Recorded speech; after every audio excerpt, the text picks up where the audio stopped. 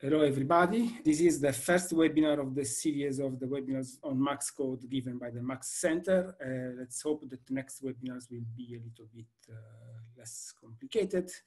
Okay, and uh, Max, Web, Max Center is organizing a series of webinars to present the no main novelties on the on its uh, on the the main codes supported by the center. Uh, and uh, the first one is the one on Quantum Espresso, as I was saying. Then there is also uh, the announcement of the next one is also is also out and will be the one of the group of AiiDA that will be uh, presented the 27th of May at the same hour. And the other two scheduled are the, those of Yambo, the June 16 at 3, at 3 p.m. as well and then uh, the one of CP2K that instead will be the June 24th at uh, 11 in the morning. Uh, for more novelties and to know when the, web, the dates of the webinars about Big, Big DFT, FLEUR, and Siesta, stay, stay tuned and visit the webpage of the Max Center. So, um, what this um, this webinar will present uh, um, the webinar will be about how to use Quantum Espresso on, uh, on systems based on CUDA, on CUDA GPU. Uh, the um, GPU. Uh, the three speakers of this webinar will be me, Pietro Delugas. I'm uh, working in SISSA in Trieste since 2015. I work in the group of Stefano Baroni and I collaborate with uh, Paolo Giannozzi and many others to the development and maintenance of Quantum Espresso. The second speaker should be uh, Fabio Affinito from the uh, Cineca High Performance Computing, High Performance Computing Center in Bologna. He's, uh, um, also the group leader of, is also the work package leader of the, um, of the co-design group of the Max Center. The, the co-design group is the group that coordinates the actions of exploration on novel uh, architectures, novel options uh, for the exascale technology. And um, we will talk us about uh, how it's organized a GPU-based system, high-performance computing system, and he will um, mainly focus on the uh, architecture of the Marconi 100 partition in Cineca. The third speaker will be Pietro Bonfa, who is a researcher at the University of Parma, and he will uh, present, he will, uh, he's been developing the uh, GPU version of, of, Quantum Espresso since he worked in Cineca a couple of years ago, and he's still the main maintainer and coordinator of the project, even if now he's at the University of Parma and he will present us a, a talk in which will explain us uh, how to compile and run Quantum Espresso on, on CUDA GPU systems. So, um,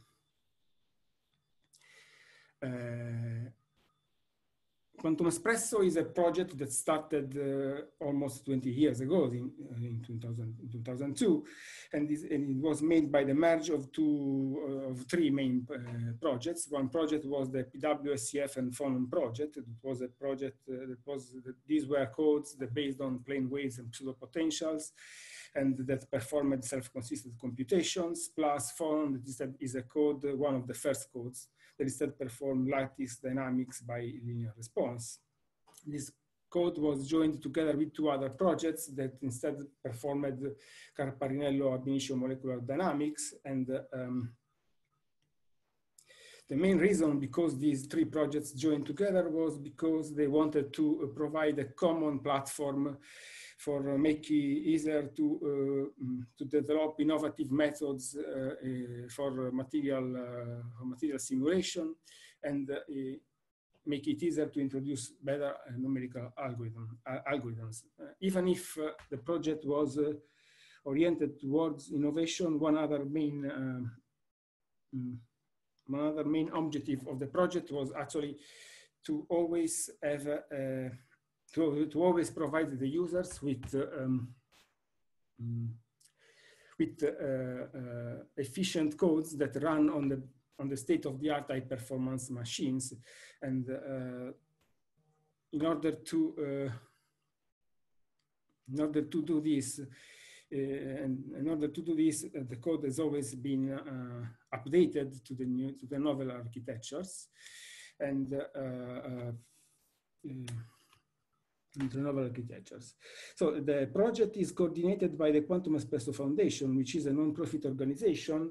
And um, this, uh, the foundation coordinates and supports the research and education outreach of the Quantum Espresso community, owns the trademark and protects the open source character of Quantum Espresso, and uh, also uh, takes care of raising funds to foster the Quantum Espresso project and uh, help the development on, uh, on, new code.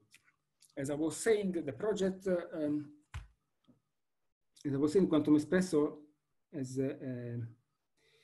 has, has a very strong orientation towards efficiency and to be to have an efficient code, one needs to uh, keep the system updated with current technologies, and uh, um, this is particularly difficult in these times because the architectures of the machine as we are approaching the exascale, tech, uh, exascale, uh, exascale technology are changing and are changing in a disordered way. So it's not very clear how these uh, um, how this technology will evolve.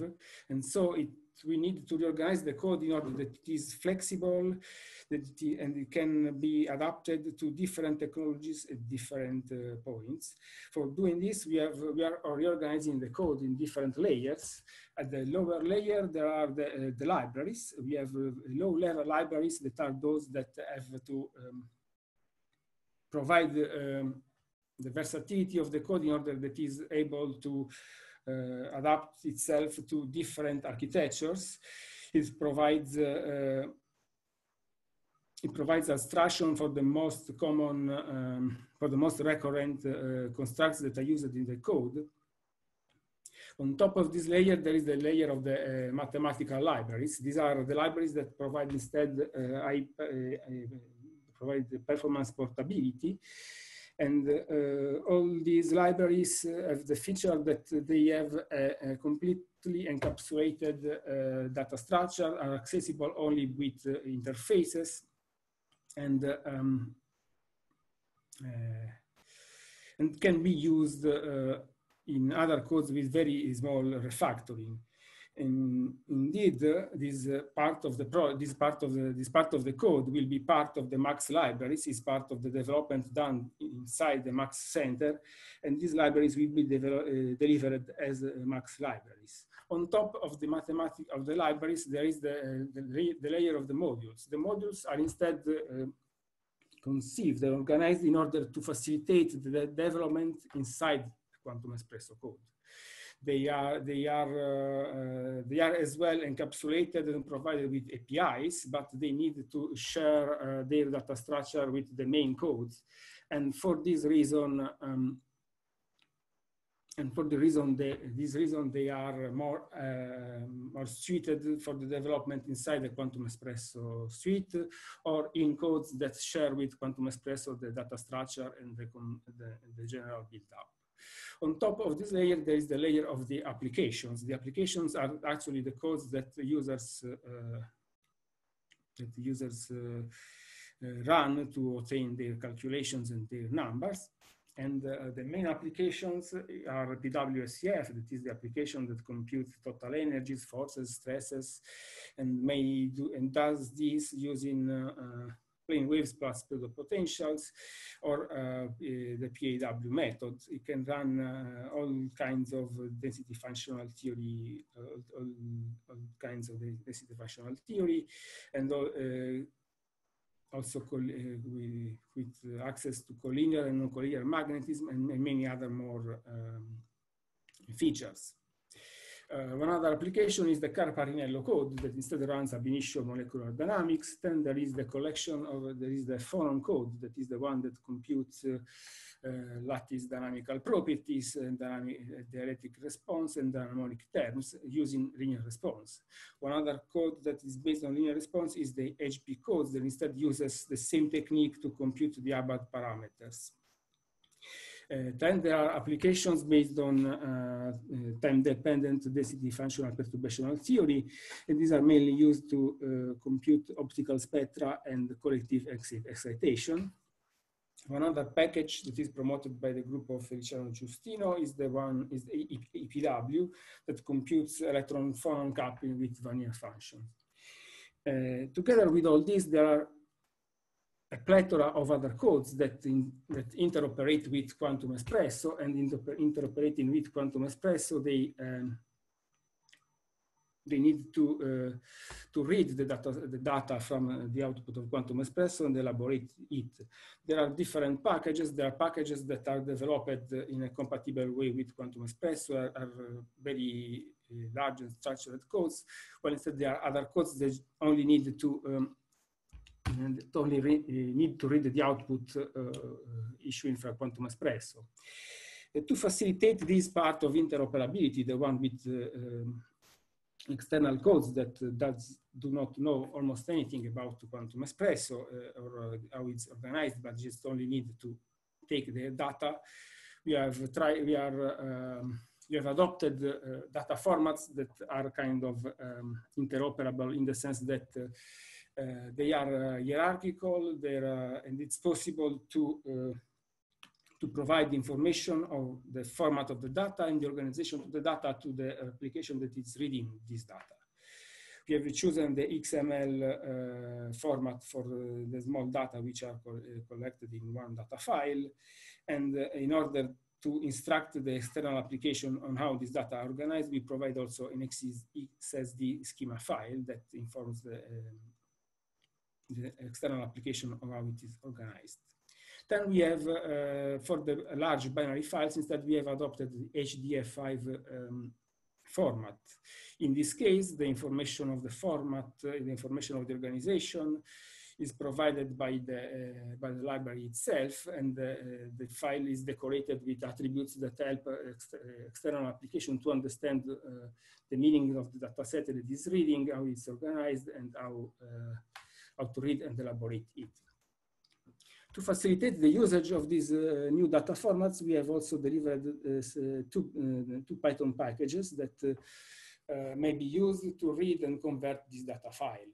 One package is a QE schema that is available, available on PIP and is also is available on PIP. And QE schema is a pure Python package that can be, that, that can be used to read this data and convert it to many data formats. And then we have a PostQE. Instead, is a program that it's a little bit more uh, cumbersome to, uh, to install. And for the, this reason, we, are, we have not been able yet to provide a PIP, uh, PIP uh, to provide it on PIP. This code needs to, uh, the setup of this code needs to compile uh, an important part of Fortran, um, Fortran sources to be run. Uh, these are still incomplete and they need uh, the, they need more, they need many more actions and whoever is willing to, uh, to, help in developing them is welcome to contribute uh, using these two um, these two uh, interacting with these two repositories.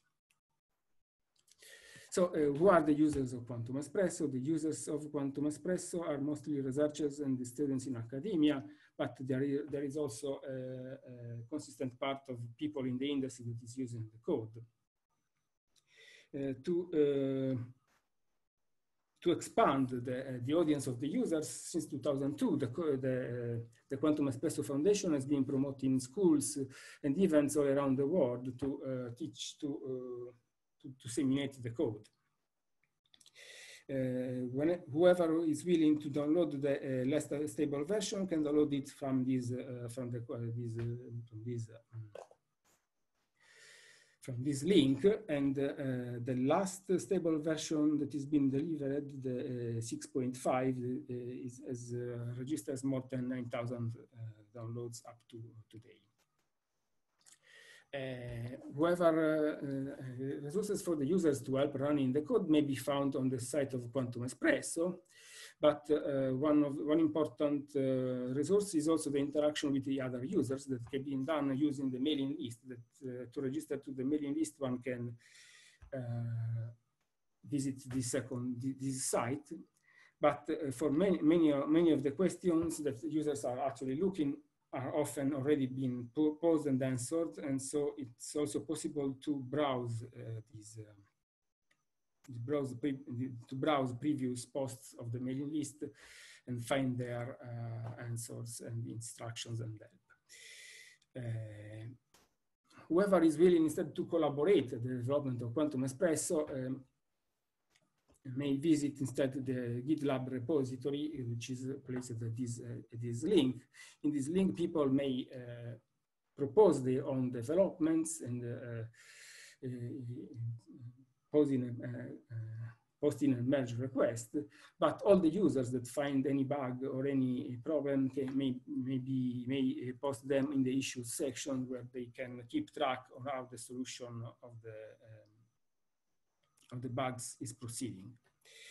Uh, in particular, for the GPU version of the code, the, uh, the, the, repository is different and is, please and is um, um, is different and is and it is this link it's co is coordinated by Pietro Bonfa that uh, and it is coordinated by Pietro Bonfa. Uh, we have also a mirror of the main repository on GitHub at, at, at this link.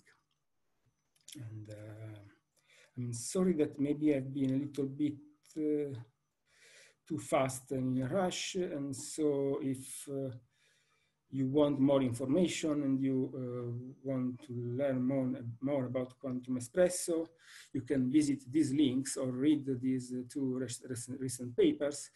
This one is a paper uh, uh that is just uh, just been published and it is specific of Quantum Espresso on GPUs, Well, instead this one is a paper that illustrates much better uh, what is uh, our quantum, what are the features of quantum espresso, espresso and uh, what it is, uh, uh, and, what you can do with quantum espresso. In, if you want to have more information about the libraries that I was talking previously, you can find more information in the Max Center site at the um, at this link. So uh, thanks for your attention and uh, in case you want to, uh, and uh, thanks.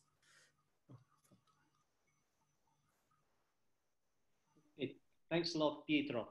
Um, I see a couple of questions that perhaps uh, could be worth be discussed uh, uh, live. One is when the phonon code will be implemented and ported on GPUs, and then um, another one related to the CP code and also whether uh, the QE scheme and uh, post QE support HDF5. Perhaps we can start with the Pietro Delugas uh, with this last question concerning HDF5, and then I would then uh, pass yes. the to Pietro Bonfa for the GPU porting.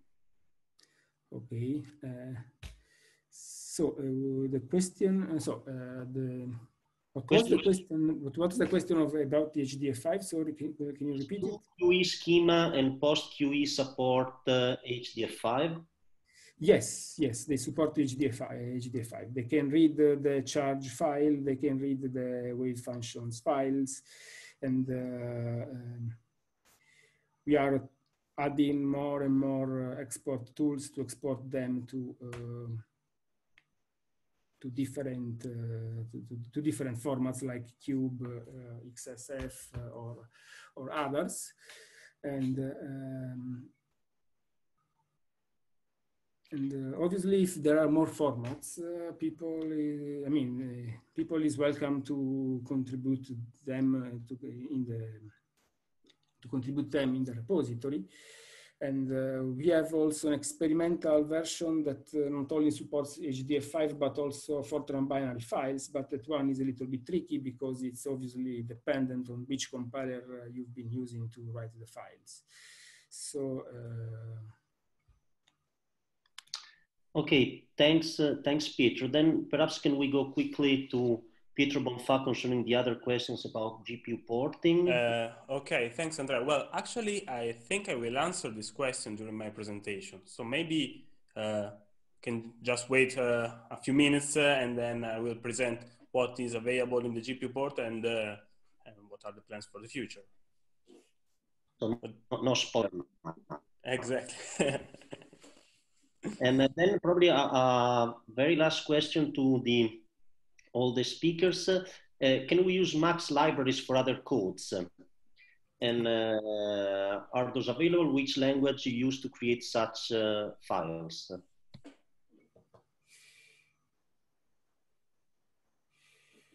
Uh, yes, we, in principle, we can use Max libraries for other codes, and that's, that's what they are meant for. And uh, that's, that's actually the ambition of the, of the, of the Max Center to provide tools that are available for uh, as more persons as possible. So uh, uh, so obviously, as for now, it's um, it's been more an internal thing. So it's been used. Is, I mean, they're they've been just exchanged within uh, Max codes. So. Um, so if anybody tries to use them in other codes and uh, is welcome, and if there are problems, issues, and can can interact with the Max Center, is also more welcome, more, more welcome than uh, for this interaction.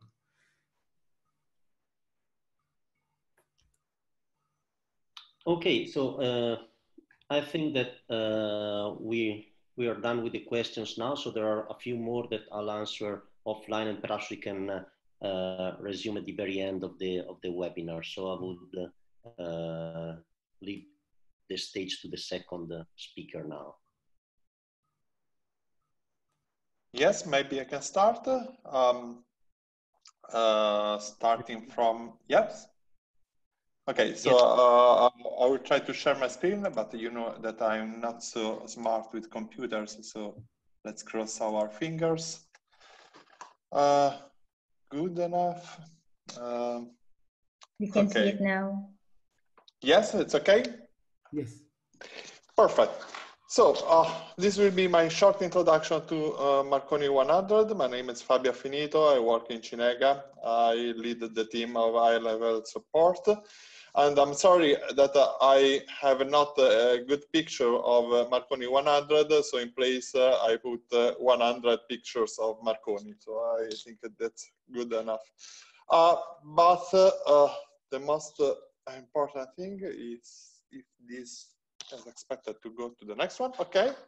So this is not uh, actually uh, Marconi 100 in the picture, but this is a very similar cluster. Uh, the cluster is a, an IBM cluster. The code name is uh, uh, Witherspoon. And uh, we will see that uh, our installation is composed by 55 racks. And uh, each of them has 980 nodes. And each node has two Power 9, IBM Power 9 CPUs. Each CPU has uh, 16 cores, and each core has uh, four hardware threads. We will see a little bit uh, more in detail later of that. Um, what is more important is that each node has four NVIDIA Volta GPUs, and, uh, and uh, each of these uh, GPUs has its own memory that is 16 gigabytes. And the GPUs are connected through a network called NVLink, uh, totally, each node has a total uh, uh memory of 256 gigabytes. And finally, all the nodes are connected with an InfiniBand network called Mellanox EDR. And in particular, this kind of uh, network is uh, particularly efficient and it has an architecture that is codenamed as uh, Dragonfly. Um, here, uh, this is a, a, schematic picture of uh, how uh, each node is composed. I just want to uh, recall what I already said. Uh, we have two Power 9 CPUs uh, and we have four NVIDIA Volta GPUs. This is an architecture that has another one similar kind of supercomputer in the world that is Summit in Oak Ridge. The difference with Summit uh, is that uh, that supercomputer has six, six uh, GPUs per node. we have two less, but the architecture is very, very similar. And we'll see later also that the, the, the problems are quite similar. Uh, little things to, to uh, notice on this picture is how the uh, components are uh, connected. Uh, between the two CPUs, we have a standard bus that is up to 64 gigabits. What is uh, important is that, uh, as I quickly mentioned before, we have an, an NVLink connection. The good thing uh, about the NVLink is that on the previous uh, GPU's architecture, we were used to uh, what, for example, if I had two GPUs per node and I wanted to copy a buffer, a data buffer from one GPU to the other one, what I had to do was to copy the buffer to the CPU and then from the CPU back to the other uh, GPU. And that was uh, extremely uh, time consuming because the the connection between the uh, CPU and GPU was typically uh, very limited in bandwidth. Uh, this is something that is somewhat relieved by the NVLink because I'm able to copy in a faster way now through the NVLink data directly from one GPU to the other one. And also because now the connection between the uh, CPU and GPUs is uh, way more efficient than in the past. Um, and this is uh, very important because this system is uh, uh, very, very unbalanced uh, with respect to the GPU part. So the most of the computational power of the Marconi 100 node comes from the GPU part. So the best we can exploit the GPU, the best will be our uh, results in terms of uh, computer efficiency. Um, the Power 9 is uh, uh, also a very uh, nice beast. Uh, and in particular, in this machine, we have uh, two Power 9 uh, so we have two sockets with 16 cores each, with four hardware threads each. That means that in principle, we could run up to 128 threads on the single node. Um, this is a, a, possibility, but, but uh, this is a, a, very, very small part of the uh, efficiency that can be provided by the node, because uh, we will see that uh, the more we can use the GPUs, the better uh, we will uh, have back. Um, so when later I will show you how to use Quantum Espresso, we should keep in mind that we have a structure of the node that is based on two sockets. Uh, in each of the sockets, we have a certain number of cores, and in each core, we can accommodate up to four threads. This is the main schema uh, to keep in mind. Um, the other ingredient of uh, this machine, as I already told you, are the GPUs. Uh, those GPUs are the last product coming from NVIDIA, uh, and so those are extremely uh, efficient. Uh, but the, the problem is not the hardware in say, but uh, the, our uh, ability to get the best from uh, this this device. And we will see that this is quite complicated to be achieved.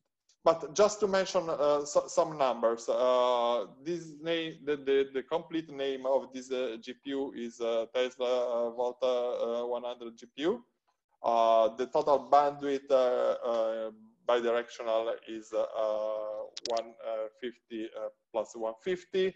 And the total number of CUDA cores um, are for 5,120 and uh, for those are uh, more interested in uh, operations that are more or less related to AI, we have uh, more than 600 tensor cores.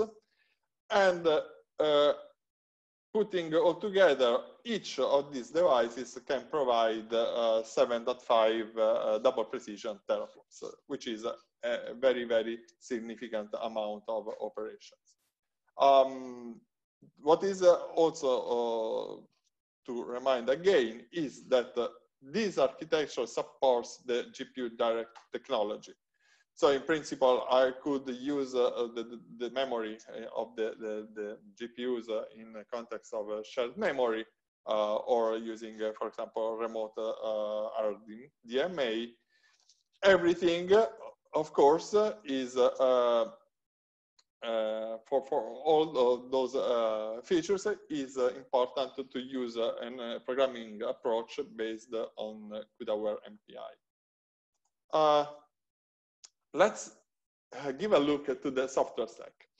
Uh, with a short recap, uh, we have uh, this machine was uh, IBM uh, CPU, NVIDIA GPUs. So the ensemble of the software stack takes into account all these uh, ingredients and in particular the compilers. We have the compilers from IBM called like XL. So XLF90 is the Fortran compiler for Fortran 90, XLC4C, and so on.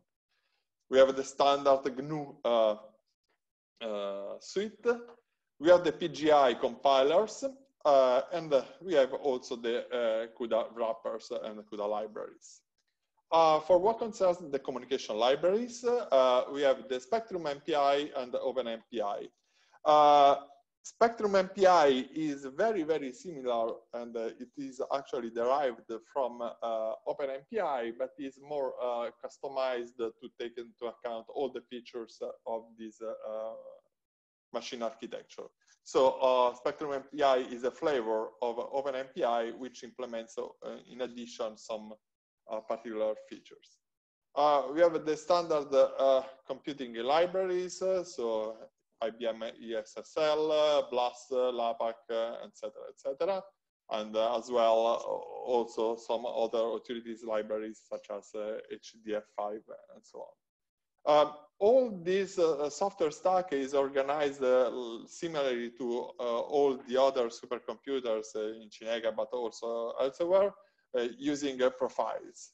so let me, I will come back later to the profiles, but uh, what is important to uh, remember about here the, the, um, uh, the compilers is that PGI is very important uh, because it supports for uh, OpenACC and CUDA Fortran. Uh, this support is also inside the, the, the IBM compilers, but typically we are more used to use PGI because we have more experience in the past with other machines in which uh, we use the uh, PGI. And uh, Spectrum MPI, is, as I told you, is fully optimized for this architecture. And uh, in the profiles, uh, I will uh, show you later, you will find also a, a precompiled version of Quantum Espresso for GPUs. So if you are lazy enough, there you will find a good solution to start very soon. Uh, this is a, a snapshot from uh, from uh, Marconi 100, uh, looking at the, the, structure of the profiles. Uh, as I told uh, this picture was took like a week ago, so probably there are more few modules now. But in general, there are several profiles. in each of them, there are specific um, modules for different purposes. There are the general libraries. There are the different uh, modules for the compilers. And there are some tools, for example, there is a Spack uh, or uh, CMake or Anaconda, depending on what you are going to do. Uh, there are less of more details on the uh, user guide uh, of Marconi 100 over the Cineca website. Um, later, my colleague Pietro will tell you a lot about how to build the Quantum Espresso. so if you are um, not so confident in the uh, version compiling the modules, you can build it in your own. And to do that, uh, of course, you need the source code from the repository that uh, Pietro showed you before. You need the PGI compiler because this is the, the probably the, the, best solution that we can suggest at the moment. Uh, you need uh, communication libraries, and uh, as I told you, Spectrum MPI is a good option. And then uh, also math libraries. Uh, there are uh, some shipped in libraries together with Quantum Espresso, but it's definitely better if you can use something like OpenBLAS or ESSL. And of course, a lot of luck. Uh, there are uh, in the GitLab of the Quantum Espresso Foundation under the project uh, GPU, a wiki in which uh, uh, several recipes to build Marconi 100 are uh, exposed. Um, so here it's one of them, but uh, maybe I won't spend too much time to discuss uh, all the details of, of this recipe. Uh, just to very, very quickly, here you load the profile global, which includes all the profile that you can access the compiler, uh, the CUDA libraries, uh, and the uh, MPI. And here you should specify what are the, the, the, the um, compilers that you want to use and so on. this is a, a, little bit less interesting or, or maybe important, and it, it, it says how to run on Quantum Espresso. Uh, I forgot to say that the scheduler is uh, Slurm, um, so the, the syntax is the typical syntax of Slurm. I will just uh, recall some uh, attention of uh, some uh, details. The, okay, the number of nodes is uh, trivial uh, because we ask for some nodes. then we sh should decide how to share the processes that we want to put on the machine. the first choice is how many processes we want to allocate per node. the second parameter is very important, is the number of tasks that we want to put on each socket. Of course, we have two sockets, so the number of tasks per node is twice the number of tasks per socket. In this way, I put a combination that is a, a good uh, combination because uh, a good idea is, uh, if possible, to put one uh, task, one MPI task per each GPU. In this way, uh, I I am targeting each GPU with one MPI. Uh, the next uh, keyword is the CPUs per task. Uh, this is a little bit uh, misleading because uh, this uh, number is actually the number of hardware thread. So let's suppose that we are using, for example, eight OMP thread what I should say is that I want to use, in general, per each task, 8 times 4 uh, hardware thread. In other words, I should put here uh, the number of uh, OpenMP threads times 4. This is the best uh, choice that I can put there.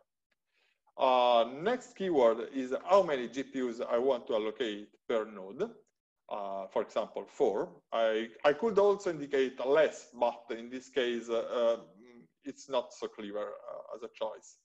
Uh, this is the total amount of memory that I can ask on a single node.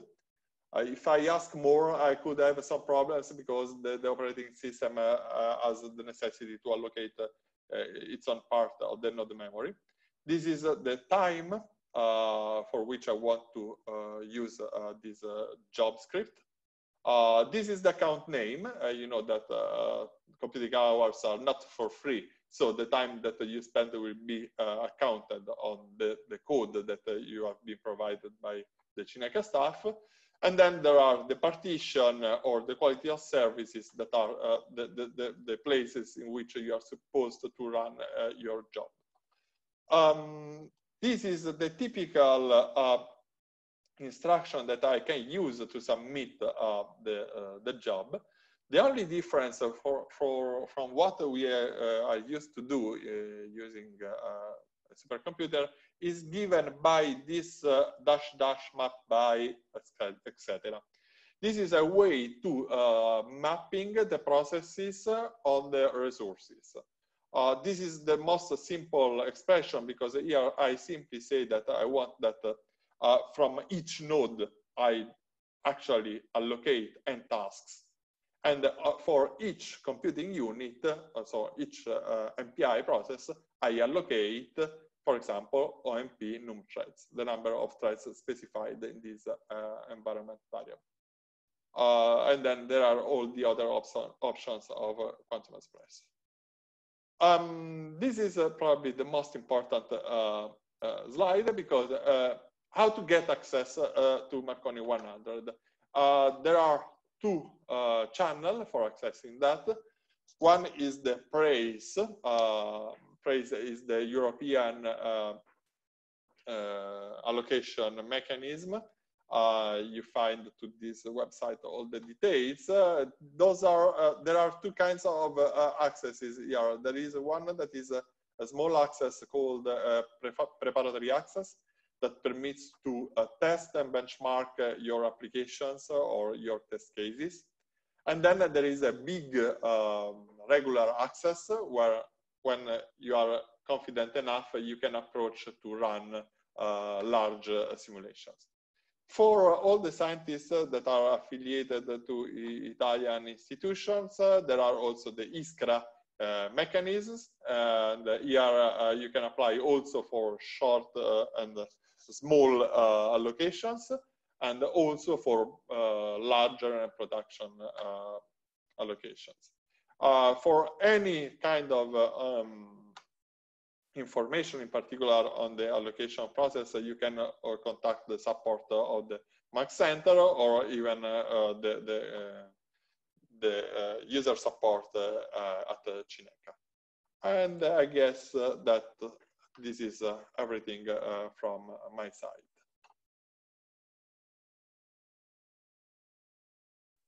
Thanks, Fabio. So uh, let me go quickly. I see a couple of questions that perhaps we may want to discuss uh, live. a couple of them are about compilers. So if we just disregard GPU support, uh, what is the performance difference uh, using PGI or XL? compiler in general, how large can be the discrepancy in performance uh, uh, across compilers. and then another uh, user, Samuel Ponce, was asking what about the difficulties in compiling using the um, IBM XL compiler. Can you, can you comment on it, on them, on them? Yes, yes, very quickly. Uh, for honesty, uh, I should say that uh, we are we don't have enough uh, experience uh, to assess which is the best one.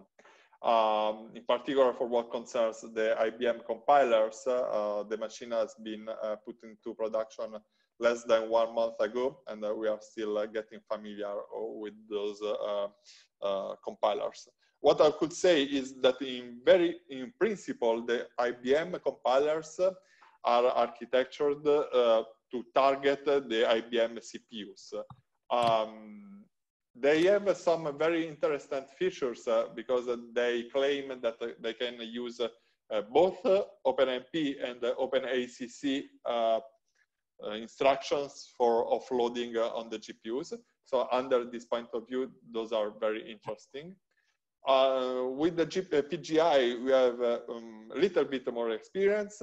Uh, and uh, in some sense, experience means also knowing more bugs than, uh, than, than, for other compilers. But we trust those compilers quite a lot also because there is a, a nice support from from uh, NVIDIA for for those compilers. What is still to to to see, and and it will be interesting in the future, is to understand how much reliable can be using uh, the GNU compilers uh, together the um, the drivers for uh, GPUs. This is still something that uh, is not uh, uh, very mature at the moment, but we will see in the future what it will be. Okay, thanks, Fabio. One more quick question is asking about access to Marconi 100. Since we have been discussing a bit about this machine, uh, is it possible to get access from non-European countries? So what are the main channels to, to get yeah. access to? Yes, uh, mm, in general, ISCRA is uh, only related to all people having an affiliation to Italian universities or uh, other uh, research entities. But PRACE also accepts from abroad. So it's not limited to Europe. Okay, so I think that for the time being, we are done with questions. I see many more questions about performance or features on GPUs, but uh, Pietro Bonfa will ask about them. So I would tend to leave the stage to Pietro. Yes, I'm here. Can you hear me? Yes, very well. Okay, fine. Uh, let's share my presentation, which should be this one. Can you see the presentation? Yes, great. Seems you're all set. Okay, fantastic. So, uh, thanks. Uh, I'm Pietro Bonfa, uh, and uh, I will uh, present uh, how to compile and use Quantum Espresso GPU on Marconi 100, but actually Marconi 100 will just be an example to describe how to efficiently use Quantum Espresso on NVIDIA powered Uh, hybrid systems. Uh, so I pointed out uh, a few of the many questions that uh, uh, I could spot in uh, the question and answer window. I hope I remember to answer all of you. otherwise, well, maybe Andrea Ferretti can help me in yeah, going back to the question that I missed. Uh, but I'll try to uh, mention the questions during the presentation. So uh, let's start. Uh, this you have seen already. Uh, this is where you can find uh, the GPU enabled version of Quantum Espresso, which can exploit uh, NVIDIA uh, graphic cards. there is a new release, brand new version 6.5A2, and that's definitely what you want, what you want to use because it includes some bug fixing, important bug fixing, and uh, um, and also new features. Uh, so you click on this uh, link here and you find the new release. But uh, very important, also check out the wiki. Uh, you find it in the same repository, and uh, inside the wiki you do find optimized install instructions. This will point uh, to the same page that Fabio was describing before. And uh, as you know, Marconi 100 uh, is brand new and uh, the software stack uh, is uh, improving and there will be certainly new options available in the next days. And we will update the install instructions for HPC system accordingly. And so keep an eye on that page. there are instructions for Marconi 100, but not only for Marconi 100, also other HPC systems around the world. And uh, you are very welcome to contribute to this wiki if you manage to install and uh, run efficiently uh, Quantum Espresso on your clusters. So this is really a collaborative effort. And so, uh, so what next? Uh, first things first, compiling Quantum Espresso. Uh, is as simple as the CPU version, just uh, dot slash configure, and then a few options that uh, you probably haven't seen before. And so I will quickly go through them, uh, but I won't just throw you some numbers. I will just I'll try to explain very briefly what are uh, those new parameters that you have to specify. I don't know if you see my pointer. Well, I, I try to uh, do uh, without it. So we wrote uh, Quantum Espresso GPU uh, using uh, the software stack provided by NVIDIA. The GPU is uh, a device, a piece of hardware, like any other device on your laptop or computer. To use it, you have drivers. But it would have been amazingly difficult to write a scientific application using only the APIs provided by the driver. And indeed, for this reason, uh, NVIDIA provides you CUDA, which is a set of APIs which are more abstract and uh, uh, allows you to interact with the driver in a much more simpler form and with through the CUDA uh, runtime, through the CUDA libraries, uh, we can use and exploit the device. Actually, what happens is that most of the compute uh, intensive uh, um, operations like FFTs or DGEMM have already been coded for us, again, in the CUDA toolkit. And so what QE really exploits is the interfaces provided by the runtime, the CUDA runtime, and CUDA libraries that are both included in the CUDA toolkit that you can install on your laptop, your computer, or is available already uh, on uh, hybrid HPC systems. So what you will need, of course, for this reason, is the version of the CUDA toolkit that is installed on your system. And you will have to specify where the CUDA toolkit is installed. Uh, on HPC systems is in general an environment variable, which is CUDA home or something like that. And instead uh, on your laptop, uh, the configure script will do its best to find it. otherwise, you will have to specify where it has been installed by your package manager. And uh, well, uh, it's usually user lib64 or OPT. Well, depends on your system. And uh, with the other option, with CUDA runtime, you will have to specify the version of the CUDA uh, toolkit that you have installed on your system. Next is something rather, uh, well, it's something new probably for uh, those not familiar with mm, GPU systems, GPU architecture. You will have to specify the compute capabilities of the card that is installed on your system. Uh, the compute capability is uh, a number that uh, specify the features that are uh, the architectural features that are available on your card.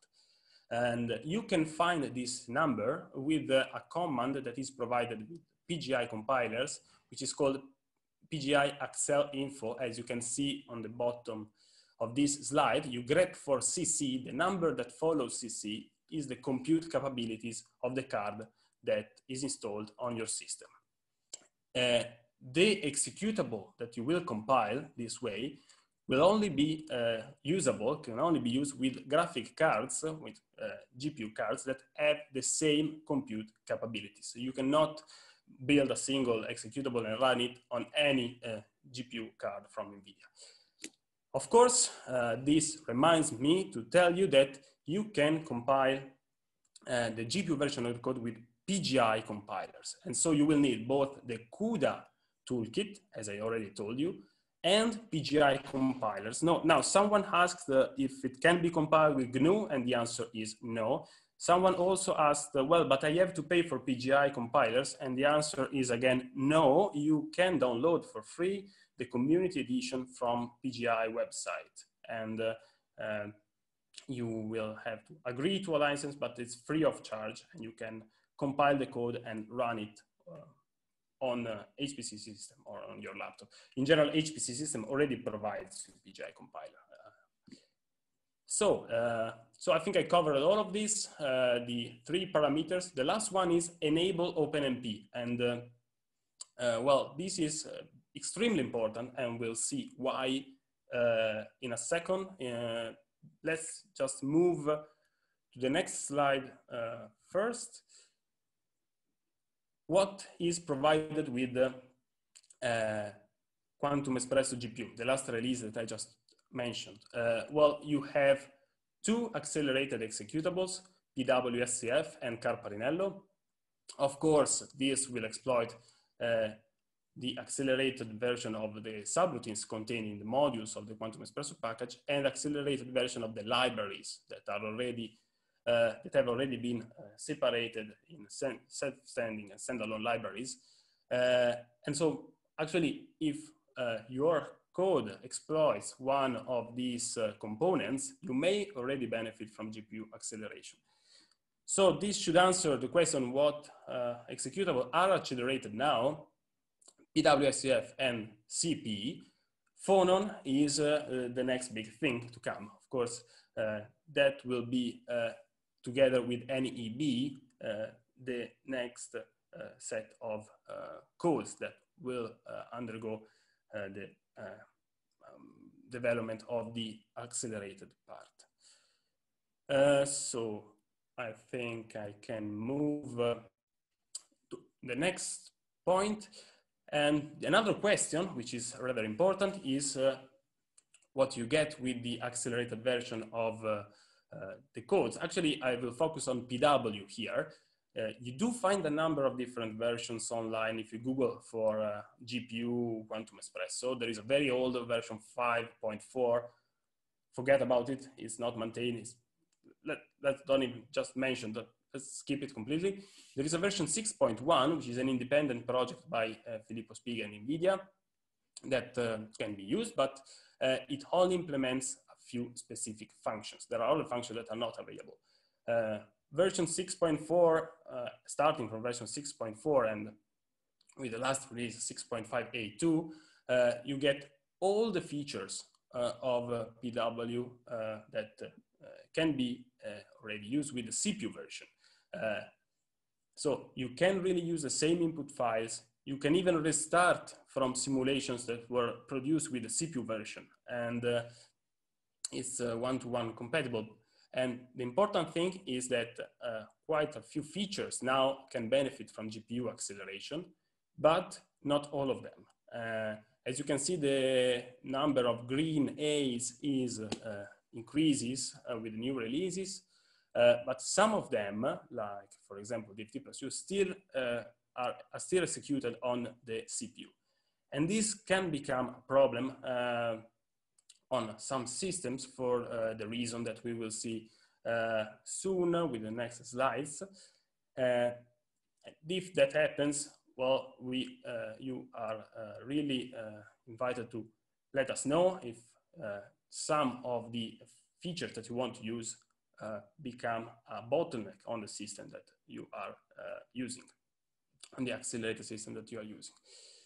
Um, so,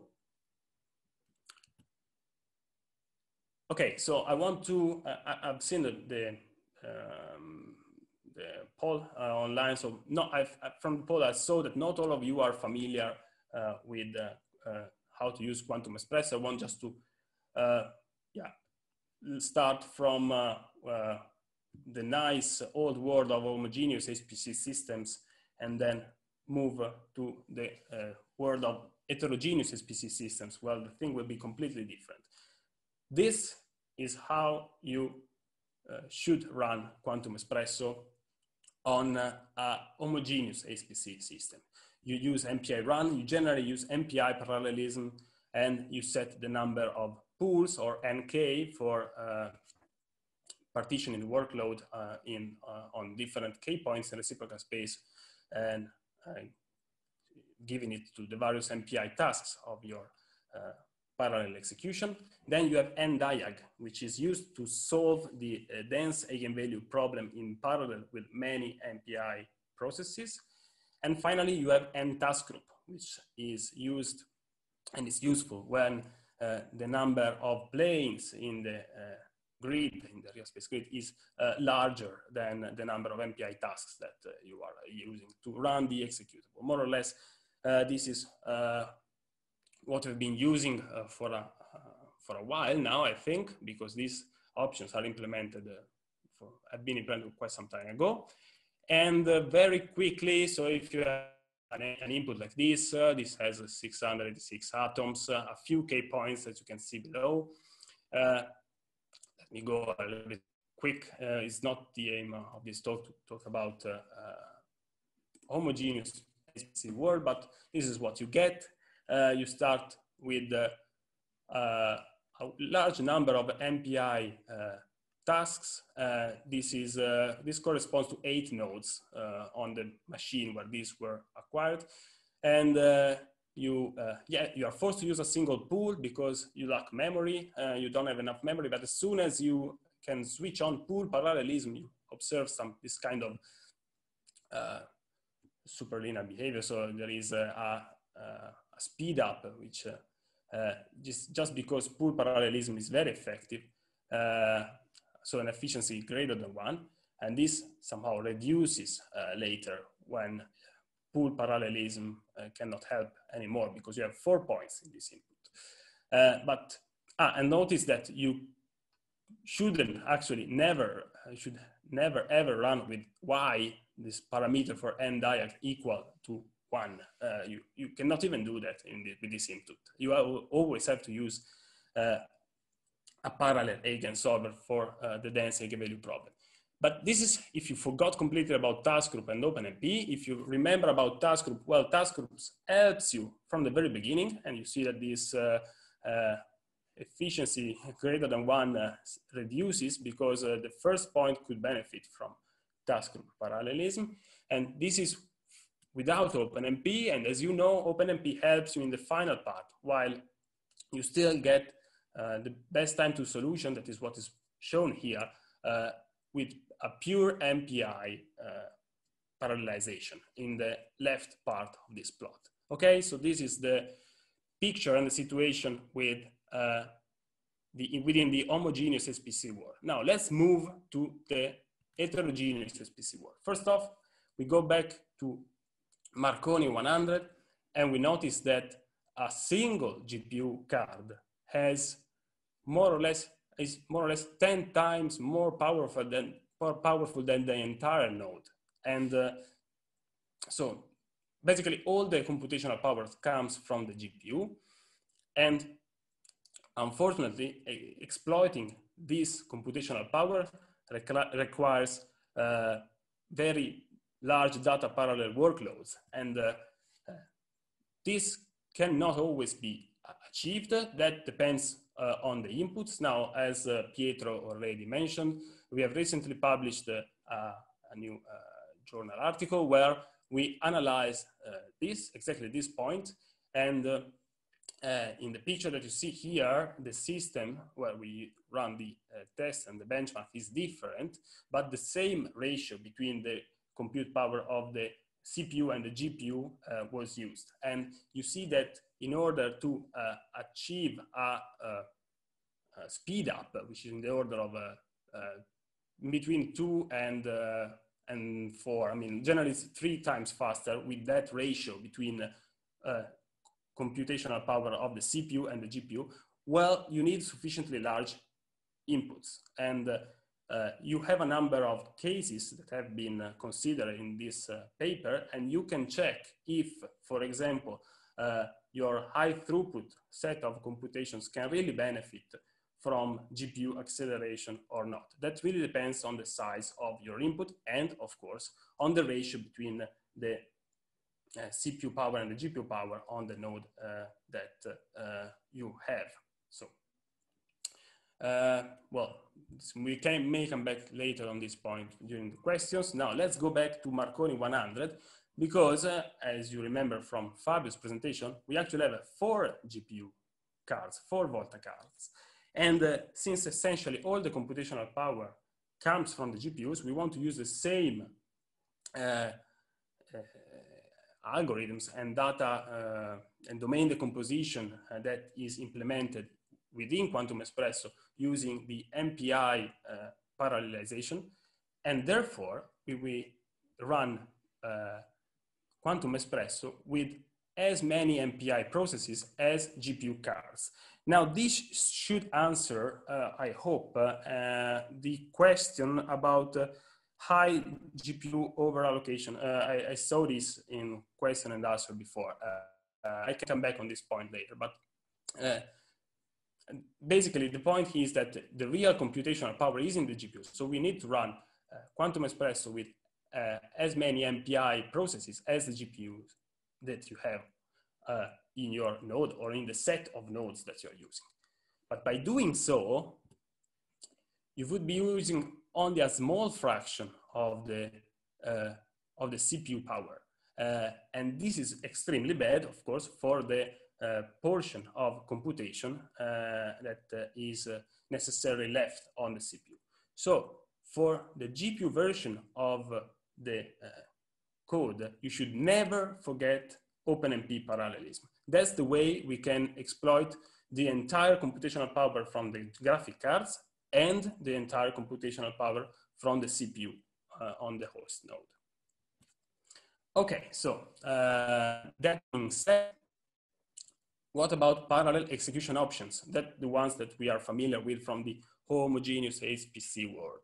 Uh, well, uh, this is what they do. And I can tell you that uh, first off, in version 6.5a2, only one device, one GPU is used to solve uh, the eigenvalue problem. Uh, this will likely change in the near future, but for the time being, we have a serial eigen solver on the GPU. So you will have to use ndiag equal one if you want to exploit the computational power of the GPU uh, for solving the uh, dense eigenvalue problem. And instead, as you could probably already, uh, is probably already understood, uh, since we are now running with a much smaller number, smaller number of MPI processes, uh, task group parallelism is never really useful and uh, it's actually not entirely implemented in version uh, 6.5a2 but it, it's, it's, not because uh, uh, it, it's just because it's not uh, really useful because you are always dealing with a few and much a much smaller number of MPI processes uh, than in the CPU version. So basically, you forget about uh, n task group. you leave uh, it. Uh, you can leave it out. the default value for a task group is one, so it's fine. But instead, you should always check that in the GPU version. So when you see GPU acceleration is active, uh, the uh, uh, eigenvalue problem is solved with a serial algorithm because this is the algorithm that is uh, provided with GPU acceleration. Now, let's go back to uh, k-point parallelism. Well, that is extremely effective, but as you probably know, uh, that leads to memory uh, duplication. So you, the more you increase X, the more memory is required. And unfortunately, you only have 16 gigabytes of uh, memory on a GPU card. Uh, so basically this will become your nightmare. Uh, you will have to find the best value for X, uh, the largest uh, value. That, depends, of course, on the number of K points that you have in your input. But in general, you find yourself uh, fighting to fit the uh, wave function inside the GPU memory. And the estimator that you find in the output, the line that reports the max dynamical RAM per process, is your friend, can help you because uh, uh, as you can read here, this is uh, this estimates RAM, so the memory on the host. But since almost all the computation is, perf is performed on the GPU, this is a very close estimate also from for the memory that will be required uh, for each MPI uh, process. Uh, that means for each GPU, and and always remember that this is a lower estimate. So even though this number is smaller than 16 gigabyte, uh, if you're getting close, and close means a few gigabytes from the limit, uh, one or two gigabytes for the limit may be fine, but uh, if you encounter problems, you may be uh, running out of memory on the GPU. So, as I told you, uh, that will happen for sure. And so what to do? Well, of course, the trivial answer is use more GPUs and uh, that will, however, not help uh, if you have a problem with uh, uh the solution of the connection, the diagonalization of the connection problem. And so one could do, one, one, what can be done is to reduce the dimension of the subspace used, used in Davidson diagonalization. And this, there is an important option in the input. Uh, is Diago, David, and Dim equal two, the default value is four. This uh, reduces uh, substantially the memory required for the Davidson algorithm and can help in many situations. Uh, if this is not enough, you can switch to uh, the conjugate gradient method, but this is much, uh, is certainly much slower than Davidson. And so first try uh, with the diago_david_ndim equal to reducing the dimension of the subspace in Davidson uh, diagonalization. Next, try uh, conjugate gradient. And uh, instead, if you happen to uh, find a simulation that becomes very slow because what is left on the uh, CPU, uh, which are some portion of the, the capabilities of Quantum Espresso uh, well, what is left on the CPU may become a bottleneck. Uh, if you find one, if you find yourself in this situation, uh, please open an issue uh, on this website and we'll, we'll try to uh, work on it. So basically this is it. And uh, the take home message is one MPI process per GPU I hope uh, uh, that now the reason is uh, clear, the reason why we have to do this. And of course, also never forget OpenMP parallelism. And I explain why you should always use OpenMP. That's to saturate the CPU. Pool parallelism is very effective, but uh, you will certainly uh, fight for uh, fitting the wave function in the GPU memory. And always remember to check that the serial agent eigensolver is used when you're running with GPUs, at least for the. Uh, in the future, there will be a parallel uh, eigensolver working also on GPUs. Check the wiki, uh, it's uh, out there and uh, will certainly um, provide you with the best options to run on Marconi, uh, Marconi 100 and possibly other uh, clusters. And finally, uh, this new paper describes in detail the GPU version and also has some important suggestions for uh, running smaller inputs, uh, somehow uh, high throughput like set of simulations. And I think this is it. So thanks for the attention. Thanks, Pietro. Thanks a lot. So uh, I think you have already covered most of the questions that were already partly answered during the, the talk, in particular, uh, the fact that you have to connect uh, one MPI task with one uh, GPU card. Uh, I think that the options to make the binding was probably given in uh, Fabio's talk. Uh, one more, couple of questions were about uh, how to compute GW, quasi-particle corrections on GPUs. I'd say that uh, this is the topic of one of the future webinars of this series, the Yambo webinar that will be held on June 16th.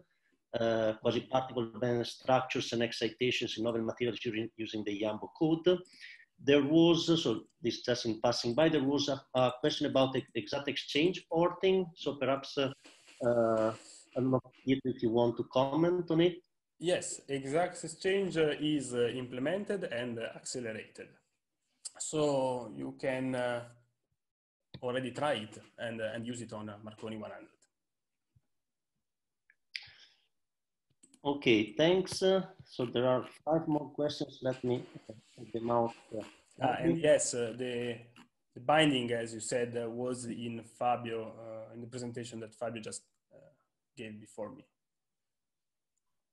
So one question is, what about QE GPU performance? what is the performance gained? Okay, per dollar spent, perhaps is, is uh, more difficult or uh, CPU plus GPU versus CPU on Marconi 100 or on other machines? Uh, so, so sorry, um, I heard only the last, uh, I, th I think I understood the question. If I missed something, just because of the connection, just tell me. So, uh, the speed up. so this is more or less about uh, how much you gain from using GPUs. And uh, so there are there are a few points. Of course, that depends on the input, but uh, let's, uh, for example, consider Marconi 100. Uh, with Marconi 100, uh, if you are dealing with small input, uh, or let's say something that fit inside a node, so basically your problem will be the memory. So the memory, the 64 gigabytes of memory on a single node, well, uh, what to compare? Uh, I, I have seen uh, uh so improvements uh, compared to the previous machine, in Cineca, the KNL machine, which is on, in the order of four to six and more times faster. But this is not really I think it's more important to, to, to share the problems than the, the, the speed up. Uh, so, for example, if you're dealing with large input uh, with, which require uh, uh the diagonalization of an eigenvalue problem, which is big, uh, then uh, you will see much worse results. So uh, maybe I can uh, I can share uh, my final slide. Uh, yes. So uh, so for example, this is the simulation of. Uh, can, can you see? You can still see my my my slides.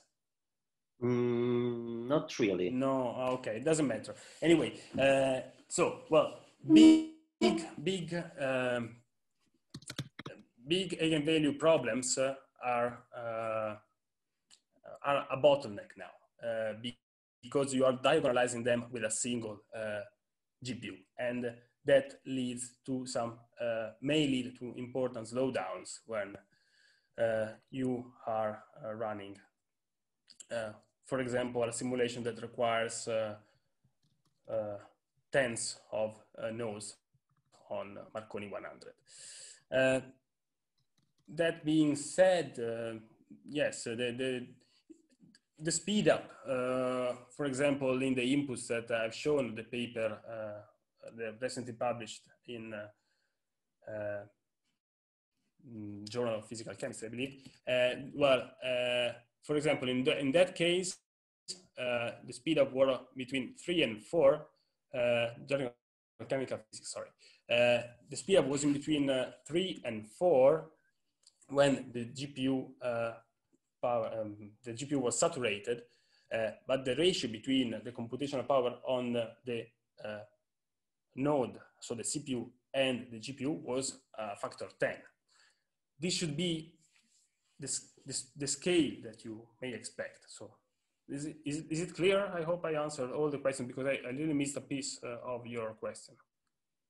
No, I think that you, you got the you got the very point. So the um, a few other questions were asking whether it is worth to run uh, Quantum Espresso on, uh, let's say, PC or laptop cards. Uh, my answer was that uh, you better not. So you may not gain much. You may even lose performance. Perhaps uh, you can provide a better answer to that. Yes, that's true. That that depends uh, on uh, the. Actually, that depends on the graphic card that you have. But in general, uh, the GPUs that are on your laptop, on the laptops, are not optimized for double precision computation, and that's actually what Quantum Espresso exploits the most. So uh, you do have uh, uh, a few cores uh, out of the thousand of cores that uh, are inside a GPU that uh, can deal with double precision computation, and that does mean that you don't get much out of the GPU for from a, a, laptop graphic card. So there's probably we can take one last question that is how does the memory usage of a QE uh, GPU job correlate uh, correlates with the number of requested CPU cores and GPU cards? Um, I think that if one keeps in mind the, the rule of thumb, one MPI, one GPU, basically this kind of answers the, uh, the question. We have a feeling of how memory is distributed using MPI tasks, then you think that uh, each MPI is correct uh, is connected to one card, and that does the the job. One extra piece of information I can add here is that typically these machines are all set in a way that the memory bottleneck are the GPUs. So typically your job will fit the host memory and it may have issues with the GPUs, but uh, if it goes on the GPUs, it fits very well the host. Again, Pietro, yes. if you want to, to, to, further comment, you're welcome.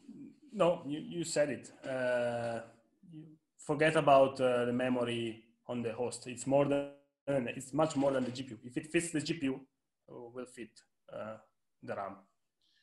Okay, so I think that we are at least on Marconi 100. That is the, for Marconi 100 for sure, but in general, uh, that, that that's what you said it was perfect so I think we are running very late now. There are still a few questions that we'll ask directly, we will answer directly in the in the chat. And uh, so I'll take the occasion to uh, thank all the speakers of this session. So uh, Pietro Delugas, Fabio Affinito, and uh, Pietro Bonfa and also uh, trusted for the technical uh, setup of the webinar. And thanks to you all for, for the attention. I don't know if there are any other messages. So yeah, here there's uh, an announcement for the next webinar. It is about Yes, yes, Andrea, I can I can close it down. I just want to, as you said, uh, thank you all the speakers and thanks all the big uh, uh attendance we got uh, this afternoon. And uh, it's been really, really nice to see this huge involvement in, the, in, this webinar. So we are very welcome to invite you over to the next one that is going to be on the 27th of May, same hour. It's going to be on AiiDA registration are already open. Uh, so thanks again to all of you. So stay well, take care of yourself, and uh, have a good day. Goodbye, everybody. Bye-bye. Bye. Thank you. Bye.